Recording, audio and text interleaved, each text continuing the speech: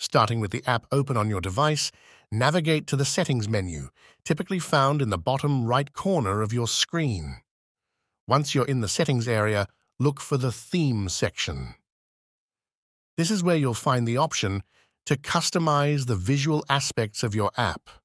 Within the Theme section, you'll encounter two distinct choices, Light and Dark mode. Selecting Light mode activates a brighter, daylight-friendly interface ideal for high visibility in well-lit environments.